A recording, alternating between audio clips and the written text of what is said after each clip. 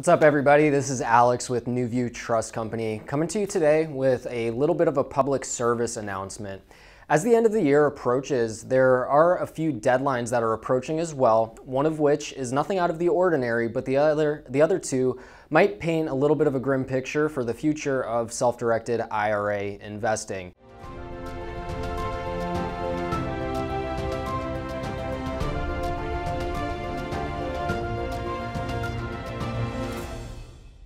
These mainly have to do with Roth conversions. Now, in case you don't know, a Roth conversion is the process of taking money from a pre-tax account, a pre-tax IRA, something like a traditional IRA, a SEP IRA, or a simple IRA, and converting that account into a Roth IRA where your investment growth is completely tax-free. So let's say you took $5,000 and you put it into one of these pre-tax accounts like a traditional SEP or a simple IRA.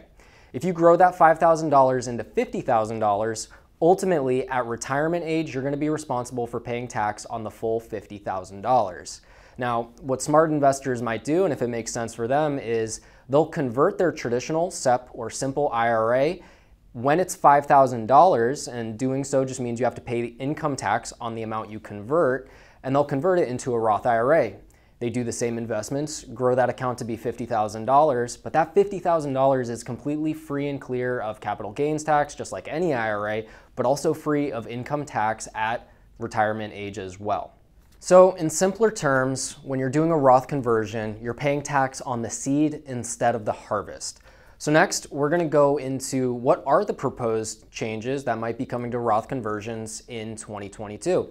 And that's the deadline we're talking about, December 31st, 2021. With the current administration's new infrastructure bill coming down the pipeline, making its way through Congress, there are some changes in there that might be coming to IRAs and specifically Roth conversions. Number one, depending on if you exceed certain income limits as a single tax filer or as a joint tax filer, you would no longer be able to make Roth conversions after December 31st, 2021.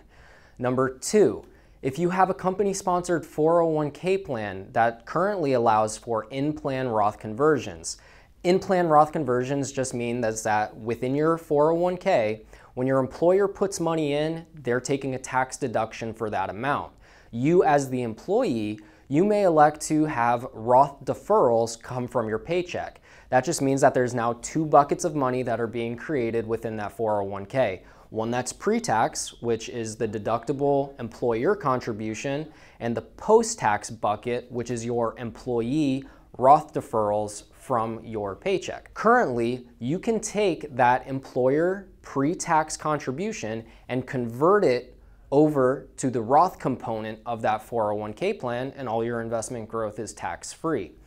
Coming in 2022 though, could possibly see the end of that in-plan Roth conversion. So those two things are very important to take into consideration as we approach the end of the year because if that's something that you want to do, if you want to get your investments growing tax-free, you need to make that Roth conversion by the end of the year. At the beginning of the video, I also mentioned a deadline that is not necessarily out of the ordinary, and this is just Roth conversions in general. Should this bill pass or, you know, it may not, that's still up in the air. But even if you want to make a Roth conversion just for 2021, there still is a deadline associated with that. Since a Roth conversion is a taxable event, it does apply to whatever calendar year that it took place in. So if you're looking to make a Roth conversion for 2021 so that you're able to pay income tax on that conversion, you know, next this coming tax filing season, that also needs to be done by December 31st of this year, 2021. So with all these deadlines in mind, what does it mean for you, the self-directed IRA investor? Number one, you need to be seriously considering if a Roth conversion is right for you. And there's many different considerations to make before doing a Roth conversion. And we've got another video that does cover these considerations to make, so I encourage you to check that video out as well. If you want more details about you know, the proposed changes, you know, the regular Roth conversion deadline, IRA specialists like myself at NuView Trust Company are more than happy to tell you whatever you need to know about what to expect coming in the future with these deadlines, what a normal Roth conversion looks like. Make the considerations now. We've got about 15 days left in 2021. By the time this video goes up, it might be even sooner than that. So get with your tax advisor, make those considerations, find out if a Roth conversion is right for, for you. They may be going away in the future. You give Congress an inch and they take a mile. We don't know if it's going to be a slippery slope from here on out, so do it while you can if it's right for you and get those self directed investments growing completely tax free.